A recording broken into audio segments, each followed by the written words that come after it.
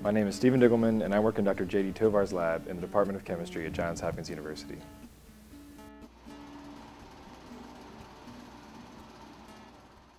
I'm developing new biomaterials that are on the nanoscale, so I'm working in the field of bio nanotechnology. So by looking at the plaques we found in the tissue of Alzheimer's patients, we observed that the plaques were actually made up of very small fibers, and these fibers are very, very long and very narrow, um, usually 10,000 times thinner than a human hair. What we envisioned in our lab is to model our materials after these plaques. Our new materials are made from basic biological building blocks and designed to self-assemble and form structures that are on the nanoscale.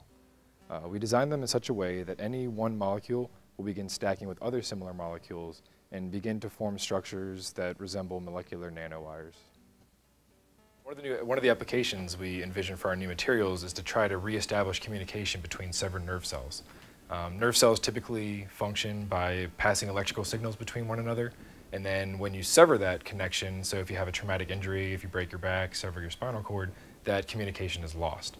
Um, and we've designed our, our new materials to both be electronically conductive and also biologically compatible.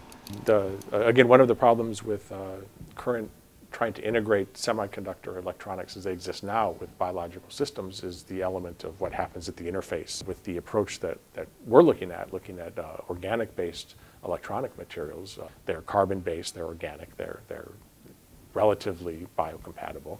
Um, and the designs that we're looking at, they allow us to incorporate biological signals directly onto the electronic materials.